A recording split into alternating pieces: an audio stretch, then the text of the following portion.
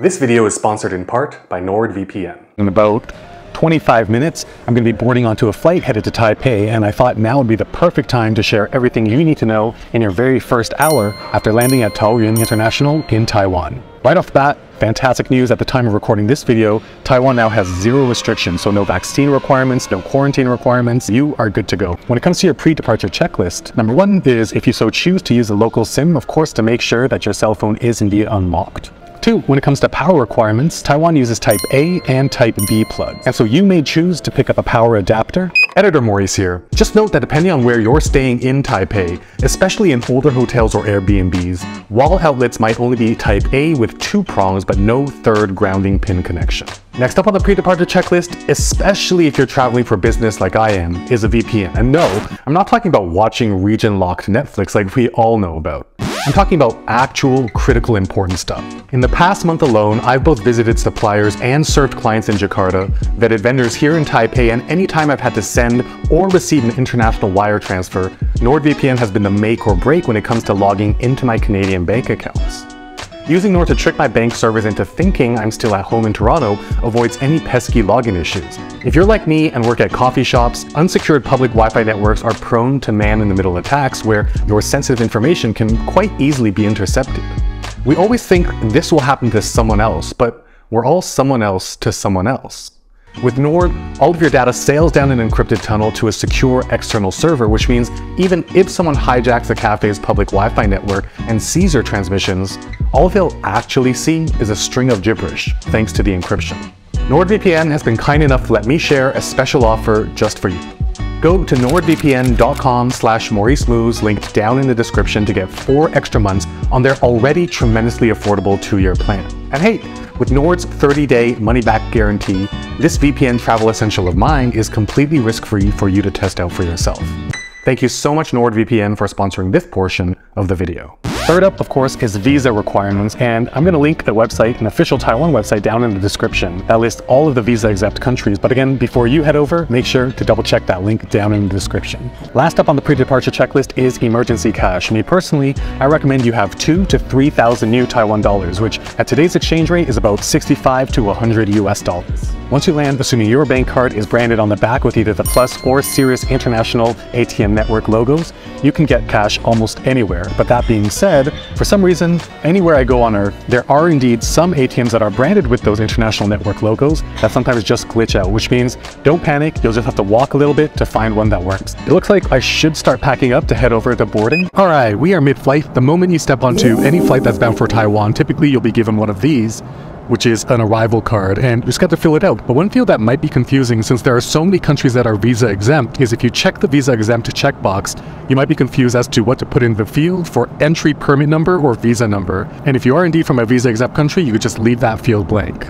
With the pre-departure checklist done, we can get to the steps after your flight touches down at TPE. Once you land and deplane, you'll of course follow the signs towards immigration. I am here inside Terminal 2 of Taoyuan International Airport, which is most likely where you'll be arriving. Before proceeding to immigration, you will filter through this line. Taiwan employs, to me, the most convenient two-stage customs process I've experienced so far in the world, which I love because it doesn't require you to spend so much time filling out those declaration forms. This line is stage one for x-raying your bag, and typically like you, I hate lines, but I think this one is awesome because it's actually there to help you to avoid potential very expensive fines, which I'm going to show you very soon.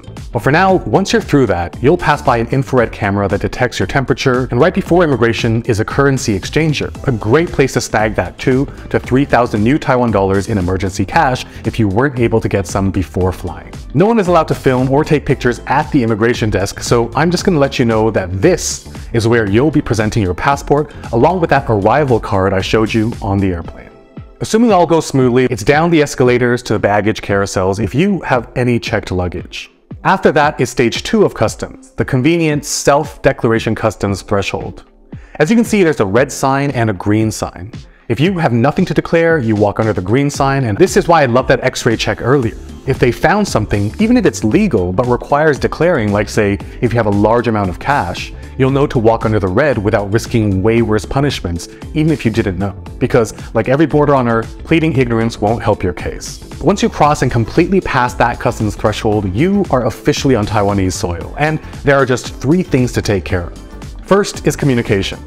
As soon as you exit the sliding doors, make sure to go left, and you'll see two round kiosks.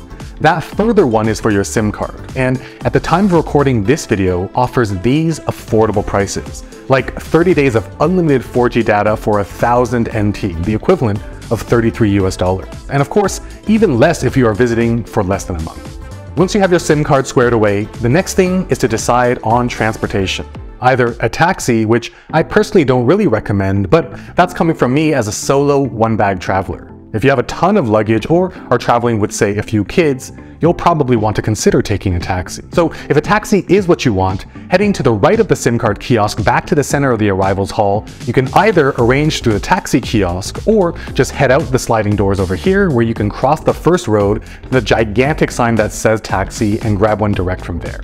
For the rest of you who, like me, wants to save a ton of money, the airport MRT is definitely the way to go. So let's rewind back to where you got your SIM card and instead of going right to the taxis, just past the kiosk you'll see the sign that says MRT and high speed rail. Make a U-turn and head down the ramp escalator where you'll immediately see the airport MRT entrance. You could get a single ticket, but that's for fools. Don't be a fool. Look, whether you take the MRT or the taxi into the city, you'll definitely want to get an Easy card.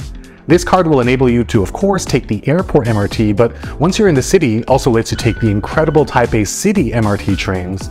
It's what's used to get on and off the city buses, and all convenience stores and major chain restaurants and coffee shops all accept the Easy Card as payment. If you also get a Taiwanese SIM card, you can also register your Easy Card through the YouBike 2.0 app, enabling you to use the plentiful bicycle sharing peppered generously all over the city as well. Depending on the ticketing agent's comfort with English, you may want to say the name of the Easy Card in Mandarin, which is Yo-Yo Ka, while handing over a 500 or 1000 NT note. Yo-Yo Ka? Where are you from? Canada?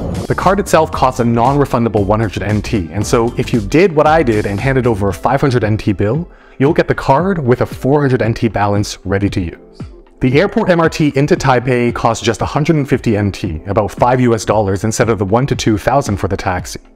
Tap the card on the sensor, walk through the gate, head down to the platform and board. And I gotta say, one thing I love about Taiwan is just how clean and well maintained all mass public transportation is.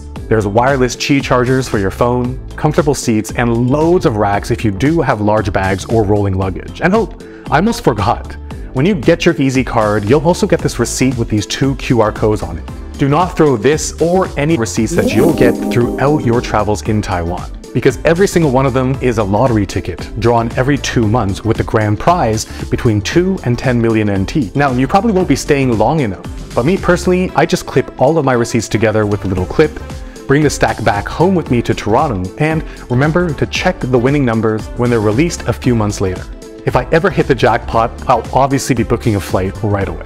Anyways, the airport MRT takes about 45 minutes to plop you at Taipei Main Station, centrally located at the intersection of two of Taipei's MRT lines. And oh, I almost forgot, what you choose to carry with you every single day while you're traveling can really impact how much enjoyment you'll get from any trip. So you'll definitely want to watch this video right up here. And for my guide on one bag travel, this video down here is for you.